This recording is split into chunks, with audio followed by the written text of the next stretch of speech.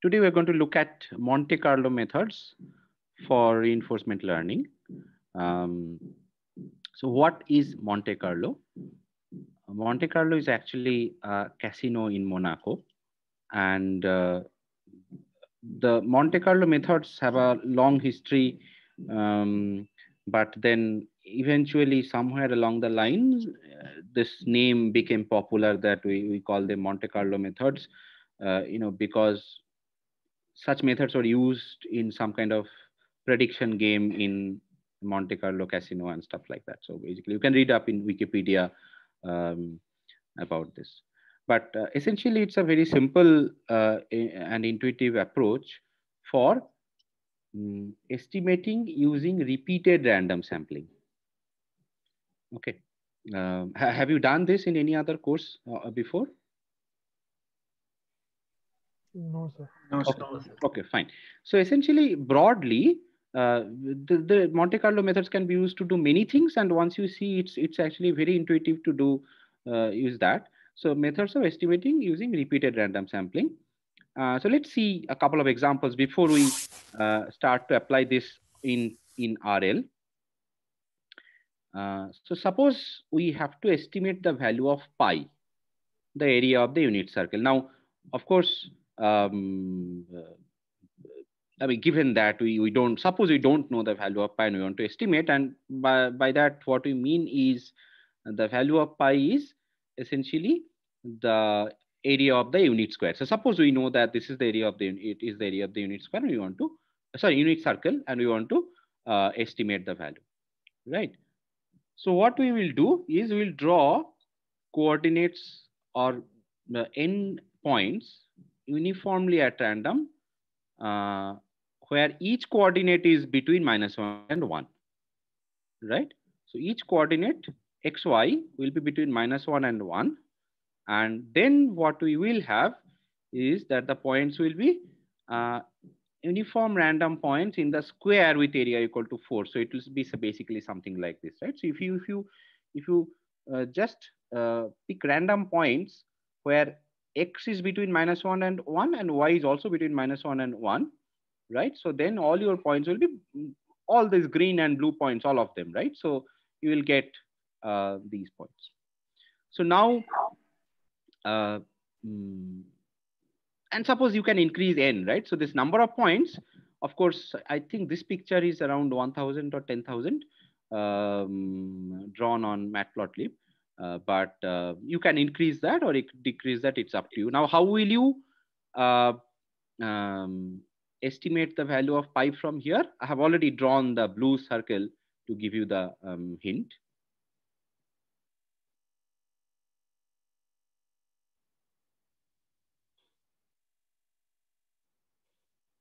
So you, you actually uh, draw so many random points. That means you know the coordinates of x and y. Let's say in a, in a list or an array or whatever, you know coordinates of um, 10,000 uh, xy points according to this minus one to one, right? So you, you know the coordinates of all these points. So how will you, how will you um, um, estimate the area of the blue circle. Okay, so what we will do is we'll count the number of points such that x square plus y square is less than 1. So we know x and y, so we can check whether x square plus y square is less than 1. And uh, we'll just count the number of points small n uh, such that we, it satisfies this property. So th those are the blue points, right? So those are the points inside the uh, unit circle. And we know the area of the square is 4. Area of this is what we need to find. So it's essentially pi will be 4n by capital N. As we uh, take n large, we will get a good estimate. All right. So this is actually the code. Uh, let's actually go to the uh, let's actually go to the notebook and uh, you know do that a bit, and then we'll come back here again. Uh, all right. So Monte Carlo simulation, this is the code. What we are doing is x uh, np dot random dot uniform from minus one to one, n of them. Now I have set n equal to 1000 to start with, just to show you what happens for a small n. Y is also that z equal to x square plus uh, y square. So these are three arrays. Okay. Um, now count uh, such that sum z uh, count equal to sum z is less than one. So this is a true false thing, right? This is a true false array. This is a boolean array. If you sum them, you will get the count and you can print it. Okay, so let's try that. Uh, so this is not such a good estimate. If you make it this, it's uh, slightly better. So 10,000, then maybe 100,000. Well, it's better, right? 1 million. Uh, okay, so whatever. So 3.14 is what I remember about pi anyway, uh, something like this. So basically, essentially, this is using what is called the law of large numbers that, um, yeah, I mean, it's applied everywhere, right? So if you have some expected value, if you uh, perform that experiment, experiment enough number of times, it will converge the expected value. So basically that is what it is. So the idea is you have to basically take a lot of samples. Now this is a notebook I prepared for some other purpose. I will, I will, uh, you know, upload this. Uh, you can go through. I'm not going to. This is not about reinforcement learning, although it's it's actually a you know casino and stuff like that, which shows that the mm, house always wins. Uh, but this is one example you can actually look at. So these kind of numerical methods can be used to uh, compute uh, uh, an integral, right? So basically a definite integral. So, um, so if you, if you want to compute the integral uh, sine um, 0 to pi sine x dx, essentially that is the area under this thing. So you can uh, apply the same kind of method, right? So you can draw x equal to np dot random uniform 0 to pi n and so on. So basically uh, you can, mm, I mean, these are probably, I mean, there will be already inbuilt methods to uh, compute this integral, but uh, these are the things people can use to, these ideas people can extend to you know compute definite integrals of complicated functions for which you do not actually have a very nice formula. Okay, so uh, so that's it for uh, for the notebook. I'll I'll give you the notebook. You can go through the other things if you are interested. But our main goal was just to understand what Monte Carlo methods are all about. And now we'll be back to our um, reinforcement learning things.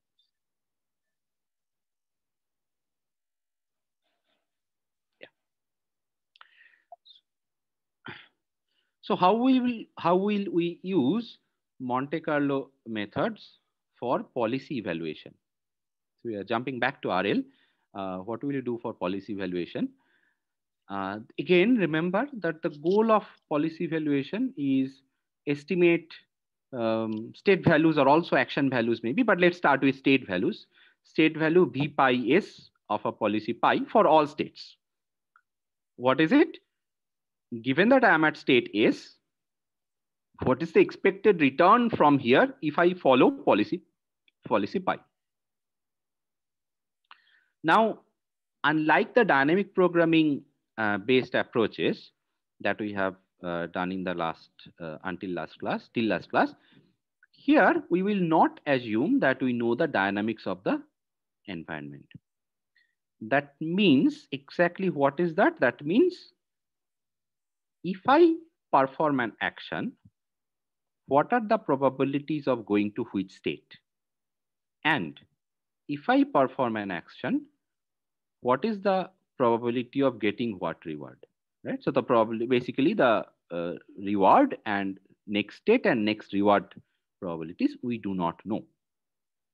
If we do not exactly know the model, then we will have certain limitations. Namely, I will also explicitly talk about it. Namely, when we did dynamic programming, uh, when we use dynamic programming to do this policy evaluation and uh, improvement, uh, we we actually use the Bellman equation, knowing, assuming that we know P, right? And that we cannot do anymore. So we cannot uh, uh, assume that we know P Uh, and that's why the Bellman equation actually gave us the power to uh, compute or estimate the return from this state in terms of the weighted returns of the subsequent states weighted by the probabilities that we already know that we that we assume to know but that we cannot do anymore. But our idea is we will use monte carlo methods. That means well let's just do let's just follow this policy many times and see what happens so just like you know uh, that naive example of estimating pi, if we do something like this.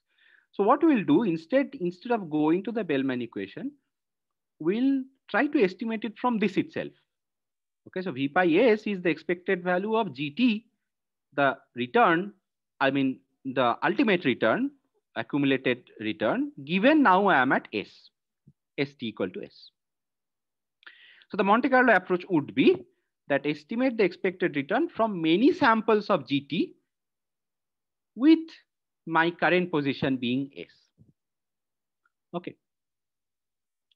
Now that means what we need to do is we'll, if, if it's a game, then we'll have to play the game many times. We'll have to play the game many times and we'll then figure out, okay, if I'm at this state, I have to be in this state many times and follow whatever policy it is many times so that I know from this state what is my expected return.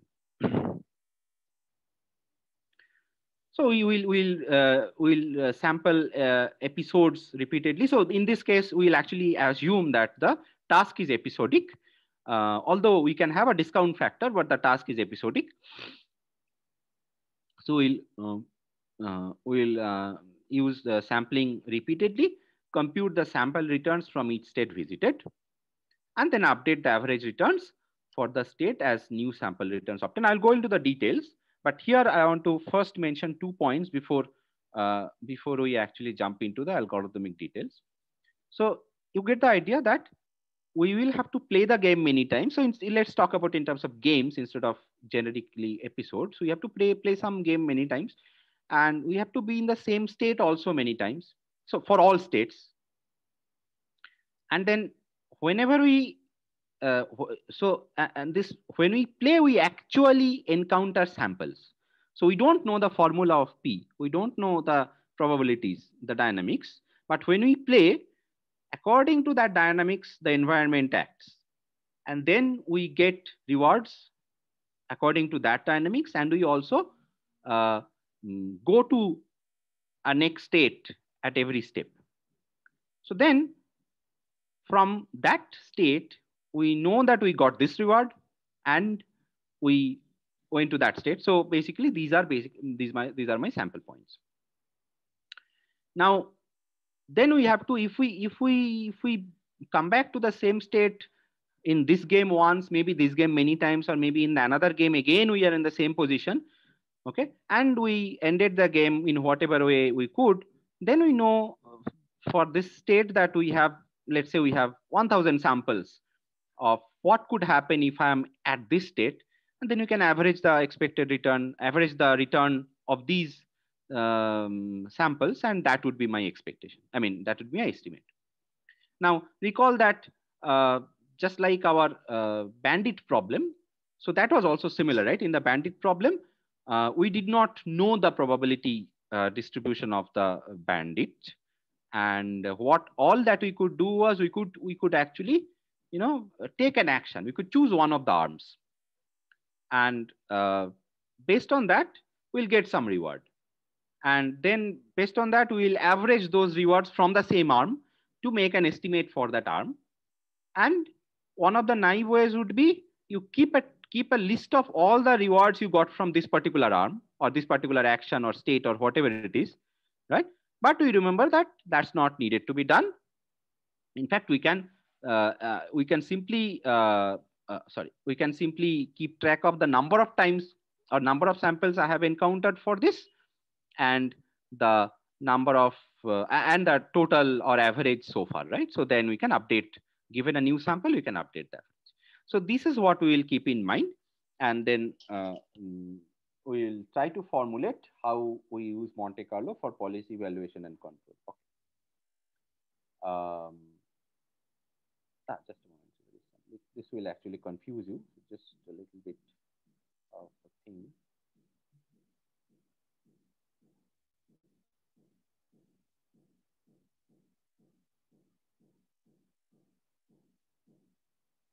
All right. So now uh, let's have a deeper look at if you play the game once, or that means if you follow the policy, if you follow some policy and you you go through one episode of um, one episode um, starting somewhere. So let's say um, you start at any state st and then your episode goes like this st then st plus 1 st plus 2 dot dot dot st plus k and finally the terminal state s capital t. Now in some cases i think uh, st plus k is meant to be st uh, it doesn't really matter. I mean you can say st plus k is st uh, i just want to show you the formula so this will not really matter. Um, and what we want to do is as we as we go through this episode or play this game once, we will visit all these states. Finally, we can calculate how much reward we got. And in, uh, in the process, we can have one sample of what is the value of ST, what is the value of ST plus one. So these are all different, different states, right? So then we can collect samples of what would happen or what could happen if I am at these states. So one episode will actually give us samples for many states, right? Is this, is this thing clear? Yes, sir. Okay, good. Uh, everybody, I mean, uh, please make sure that you understand. Uh, it should not be that only one or two people uh, understand or you know respond and others don't. So, so basically, what will happen is if I go through this whole thing, uh, at when I'm at ST, uh, and then finally I finished it. So that means I would have computed the uh, the eventual return starting at ST. So I, I will have one uh, sample for the value of VST and so on. So for all of them, right? I can i I can also think of I started here because it's a Markov Markov process.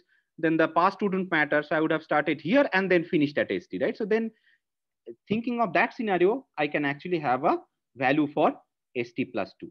But these are not the final value uh, v pi st plus 2 or v pi st uh, because this is just one sample of that.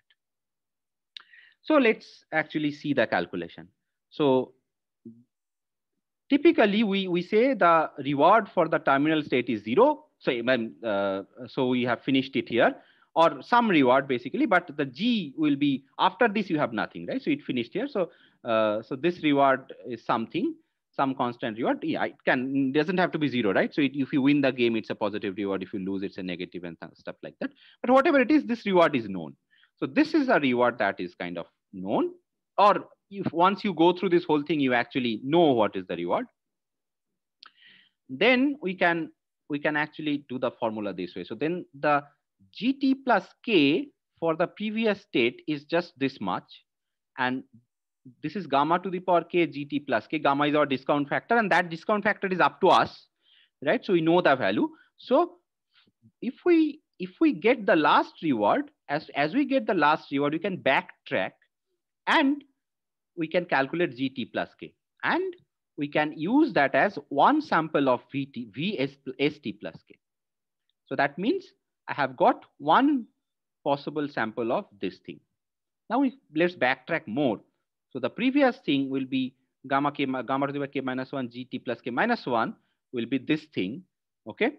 And now, mm, yeah, so now you have, you know, this reward also because you have gone through this, right? And so on. So you will using this, you can actually update something on the previous step. And if we come back here using this formula, so we have backtracked it using this formula, we can update this. That means we have one sample of VST plus one and GT is one sample of VST, right? So essentially, if we go through one episode, we can have samples for all of them once, right? So we can have samples for all of them once. Um, okay, so now let's uh, um, apply these two things. One is this, another is that uh, these this one backtrack gives us one sample each for each state, but that's just a starting of the estimate. You will actually go through many such episodes and you will calculate, you will uh, get many samples for each state. And that we know that we can simply uh, keep track of the current average and the number of samples so that we can update it. So now we are ready to actually look at the algorithm. So the policy evaluation algorithm using Monte Carlo then would be you initialize the estimate Vs arbitrarily for all states. The number of samples Ns to be zero for all states, okay? Uh, because we haven't seen any sample yet.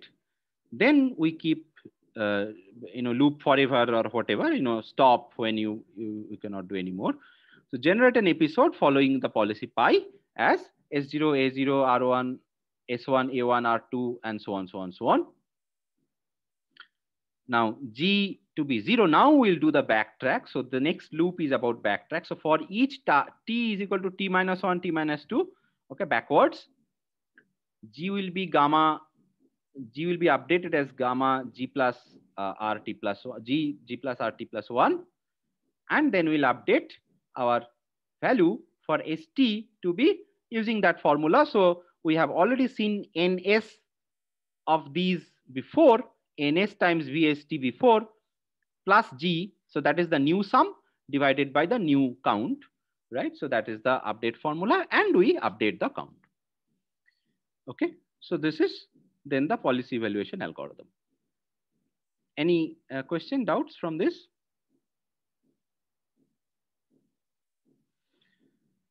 Okay, I mean, uh, this is pretty simple. Essentially, just the backtracking is uh, what it is. Now, um, there is one little detail there. Uh, I said that when I go through one episode, each state, for each state, I get one sample. That may not happen, right? I mean, it's possible that I go through one episode and the same state comes back right? So I can encounter the same state more than once. So it can happen something like this. I'm at st is equal to s. And then later on again, st plus some l equal to s. And so on, right? Now in the algorithm that I showed you, uh, we did not care about it. That means what we did was we would, we would get one sample of VST GT equal to VST here and update it. And we'll also get another sample of VST, uh, same S, right? This S is same as this. So we'll update it in the same place, but this sample is different because it will be G T plus L. So, so this talks about the return from here to here, uh, the discounted return from here to here, and this will talk about the return from here to here. So they will actually be, the, the estimates will be different and uh, we will update both. So we'll, we'll, we'll uh, count both and we'll update both. So that thing is called uh, uh, every visit Monte Carlo, right? So we consider all visits to the state and that's the algorithm we have seen. The um, older version is first visit Monte Carlo, where we only consider the first visit to a state S in an episode to collect the sample. So if we want to do the first visit Monte Carlo, then the code will look something like this. It's the same code, except that here we have an extra condition. We will do this update unless ST, some ST here appears before this. That means we will only do the update for the first time in the episode a particular state is visited. So what is the difference? Okay, so the difference of course, is we will update less number of times. So we, we, get less number of samples, right? But intuitively, we might think we have more consistency. It is very similar to uh, mm, this in place or two array uh, uh, thing that we uh, saw last time, right? So again, uh, what happens is both algorithms will make the estimate Vs converts to V pi s for every state s if the number of samples for each state is large enough, right? So kind of goes to infinity. Now, in, in practice, however, every visit, which is a more modern, so first visit Monte Carlo uh, apparently has been studied for you know 70 years now, 70, 80 years now. Uh, but every visit Monte Carlo is much more modern. It's actually Sutton's work, and um, that converges faster. So the first visit Monte Carlo converges at the rate. Uh, um, the standard deviation converges means the standard deviation of the estimate goes down. Okay, at the rate of uh, one by root n, where n is your number of uh, mm, number of states visited, I think. And this one goes uh, to, mm, this one converges quadratically, so it's much faster. And every, every visit Monte Carlo actually um, is more useful in other modern techniques that we'll, uh, we'll, we'll probably see some of them later, but uh, if you study more, you will see more. Okay, so these are the two versions of uh, policy evaluation using Monte Carlo. So you're not changing the policy here. What we are doing is given a policy, we are estimating the state value of the policy. If we start at this state, what is the expected return from this state? All right. Now, uh, turns out that since we don't know the dynamics, just estimating the state values will not be enough. And we also estimated action values uh, uh, for uh, dynamic programming, but uh, there is a subtle difference, which I told a bit about before that the which equation are we using, right? So that was the point. But how do you estimate action values? Estimating action values will also be similar. It's just same thing as state values, but uh, given an extra condition that I'm taking one particular action. So instead of estimating V pi S, we'll estimate Q pi S and A for a state action pair. So the episodes are still the same. ST taking action AT goes to ST plus one, then taking action AT plus one goes to ST plus two and so on, right? So just like we were sampling, so if we are at ST and we, we actually receive rewards, right? So we actually receive rewards, we actually experienced this. So we received rewards. So we know the expected return for ST. So same way, we'll also know the expected return for ST and AT because in this case, this is one sample of taking S from ST taking AT, right? So you have actually done this one. So, so Monte Carlo is all about do it and learn, right? So do it and learn. So you have actually done this. You have done AT being at ST. So that will give you one experience of what happens if you take action AT from ST. So same thing, similar to the state value estimate process, we can actually estimate sampling values of QSTAT instead of just doing, um, uh, yeah, instead of doing VST, okay, we can actually do QSTAT. Now, again, we can have first visit and every visit, visit variants as before, but um, yeah, so that's that's not a difficult thing. This is uh, simple and analogous. But now it's time that we uh, look at a key difference between the dynamic programming and Monte Carlo approaches. The DP assumption is that we know the dynamics P. So we can use this equation, right?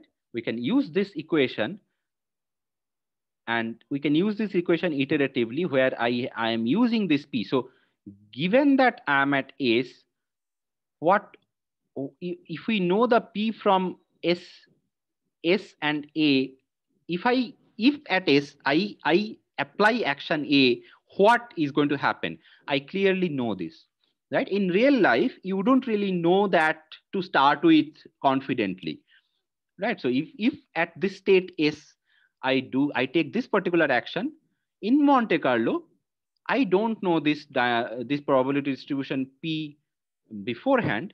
So all that I can do is I can actually perform the action and we'll end up in some state and end up getting some reward. So we cannot use this equation. Instead, oh, sorry. Uh, yeah, we cannot use this equation. Instead, um, okay, so if we could use this equation in, in other words, then for every action, for if you are at a state S, for every action A, you would know what would be the reward you will get, right? If you take action A, this will be my reward and I will go to that state. So that much you knew for every state, right? Uh, mm, and we don't know that. And if we knew what we could do is how to improve a policy would be from a state, we can simply look ahead all possible actions and all possible rewards and choose the greedy improvement, right? You could do that if we uh, knew the dynamics. In Monte Carlo, we don't know the dynamics. And then what is going to happen is to know which is which is the action, which action A is best from our state S. Remember, for policy improvement, that is our approach, right? Policy improvement, our approach is greedy. Sitting at this, this state S, I want to see whether this is the best action according to my current policy. I mean, according to my current, whether my current policy is the best at, at this state, right? So, so if I find any other action which is better, then I will actually uh, switch that in my policy. So to do that here, we actually need to compute the action value pairs in Monte Carlo. So we'll compute the action value pairs in Monte Carlo in this way that uh, mm, we'll, we'll sample STAT, we'll sample the rewards for STAT, uh, the eventual rewards for STAT for many such episodes. Okay, so now let's actually uh, um, have a look at the control algorithm, policy control algorithm, combining the evaluation and uh, policy improvement. So this is the standard thing, right? So given a pol, I mean, you start with a policy pi, okay, and you have some estimates. So capital Q is essentially in this picture, capital Q is the estimates for action values. So um, you have some estimates. So initially, your neither your policy pi is great, you are starting with a random policy. And neither, whatever the policy may be, your estimates are not even uh, perfect for this policy pi. So everything is, you know, all over the place. So what we do is we, we evaluate. So then Q slowly, slowly becomes the estimate for policy pi and Based on that, we also change policy pi and this iteration we keep doing. All right. So in other words, we do not actually, so because we actually do not have those Bellman equations, uh, remember in, in dynamic programming, we use the Bellman equation as an update rule to kind of completely evaluate a policy, right? But, um, but here we will not even do that. We will just keep iterating, okay, with all samples. So what will you do? We initialize state action probability pi s arbitrarily. Okay, so uh, basically take a random policy. So this is, is essentially you initialize your random policy. That means given a state, your actions can be totally random. Initialize state, state action values also arbitrarily for all states and actions. So this is supposed to be a value for this, but it's actually not right now. So right now it's a random initialization. And our we have to update, so we need the number of samples for SA, right? So for every state and action pairs, we need to know how many samples have we encountered. Now we loop forever. Choose a starting point A, 0 and S0 okay, rather S0 and A0, I should say, it's just a bit confusing. So you start from some state and take some action. That is your starting point. I'll come back to this point later. How do we choose a starting point? I, uh, this is going to be important, but I'll come back to this later. So suppose you choose a starting point. Now generate episodes, just like before, just like the policy evaluation thing, generate episodes following a policy, following your current policy pi, right? So this kind of episode and you set g is equal to zero first, and then you backtrack, just similar to previous uh, previously, you backtrack. And you set g is equal to gamma g rt plus 1, and you update Okay, so instead of VS, we are now just doing Q STAT, same thing, okay, same update. Um, and we update the number of times STAT pairs have been seen. Okay, so this is what uh, we do. Now, um, finally, what we do. So this much was uh, updating the updating the estimate for the value of the state action pairs. And now what we do, we now see uh, given the state, is our current policy the best? If, because these things have changed, right? Q, some of them have changed. So because this keeps changing, we also keep updating our policy. So we update our policy uh, over for ST, we go over all possible actions, okay, and update our policy to be uh, pi ST. Now this is actually a deterministic. Um, so now this policy actually becomes deterministic. So you actually always do this, take the maximum one, and uh, it's not a probability anymore. So there can be an issue here because we are doing Monte Carlo and our assumption of convergence lies on the fact that we would see all samples for all state action pairs infinitely many times or large enough number of times.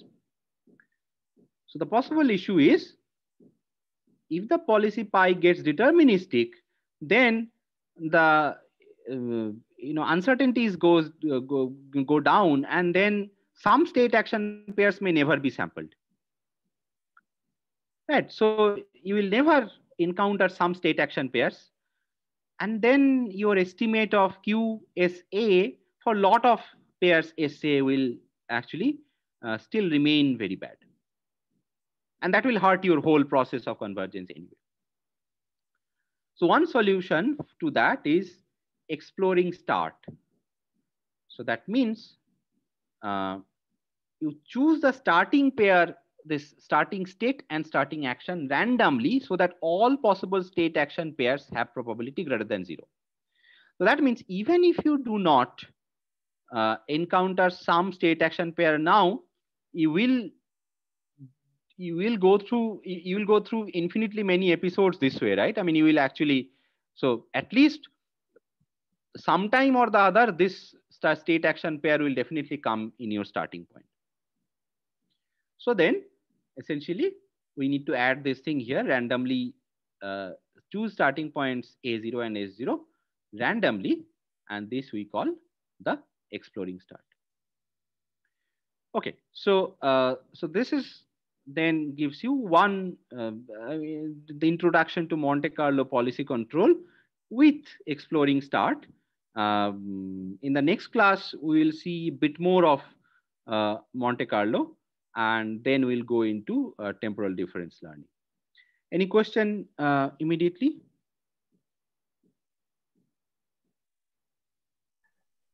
Sir, what about the next actions? Like uh, initial one we are choosing randomly, and the hmm. next actions are won't those also be needed to choose randomly? No, uh, I mean, okay, so there are actually approaches. Um, so just like your epsilon greedy, uh, there are uh, epsilon greedy is actually a, a, specific version of something called epsilon soft, um, where you can you can explore here and there also, but in this algorithm, what it what it does is just the starting is exploring start, and then on one then onwards you follow your policy pi. Now, this only makes makes sure because you will actually generate infinitely many episodes, you will eventually get all action, uh, all uh, state action pairs. But your concern is valid that, well, after that, I'm not exploring at all. Um, so then we may not actually do a very good job. Yes. So we will come to that in the next classes. Okay. Sir, uh, here the update of the policy will happen at the end of every episode, right? No. Uh, yeah, right, right, right. Every episode, right. Yes. So once one episode episode finishes, so you actually follow the policy pi and create this whole episode. You experience the whole episode. So it's like you play this game once, and then uh, you look back uh, what happened all throughout. And so this is your look back. Okay. So you play this game once. This is your look back, and then you update the uh, this the value for this pair, then value for the next pair, then the value for the next pair. Sir, uh, another doubt in the last line, mm-hmm. uh, we have argmax over A, but uh, aren't we just taking one action? So how, how will it be argmax over A? No, no. Okay. So you see, we have these q values for all states and actions.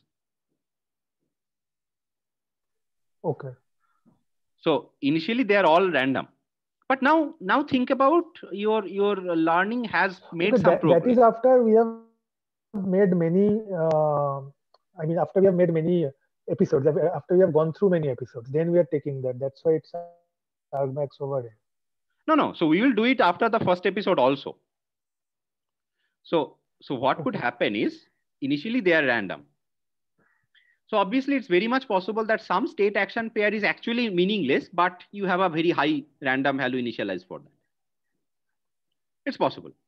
So, okay. so that can, that can, uh, so what can happen then obviously is that uh, um, after the first episode, no matter what happens, you find that for this state, that action, which is actually a mistake, it still has a maximum and you take that action. Okay and then you take that action means you actually okay, okay. you actually set that as your policy. But next time when you okay, next time when you you know come to that same state and you because you took this policy because you set your policy to be that state, then you will get a bad reward and then you will update it. Mm-hmm. right because initially QSA exists for all the A, that's why we yeah, can just, it will always exist for all the A. In fact, the idea is that QSA must exist for all the A, and all QSAs must converge. Huh. Right. I mean, As we do more episodes, more and more. Yes, yes, yes, yes, yes. But then obviously, uh, there would be techniques. It should not be just any random real number. This is just a theoretical statement here there will be techniques to proper initialization and so on for faster convergence and stuff like that. So theoretically, they will all converge if you do enough number of times, but enough is totally relative. I mean, do you want to go through 1 billion episodes or will 1000 be enough? Right. So of course, if you can do it 1000 episodes, then you, you want to do it that way. So, so there will be uh, tricks to in, do better initializations and stuff like that so that, uh, you know, you you don't actually um, end up running this for a very long time.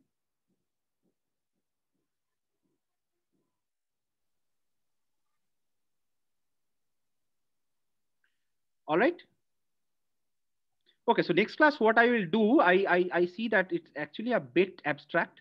So I'll actually try to, uh, uh I'll actually try to construct one example and run that through the class the the reason why I did not take the uh, blackjack example is that I'm not sure many of you know the game even.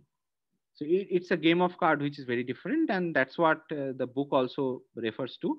Uh, but uh, since that game is not so much intuitive to us, uh, that example may not actually be so much intuitive to us. Uh, but um, yeah, I mean, I'll, I'll, I'll, try to come up with one example so that you you learn this the, this Monte Carlo thing in reinforcement learning, uh, we get better intuition about it. Okay, all right. So that's it for today's class. So we'll then see you on Thursday. Ah, reminds me. Let me stop the recording.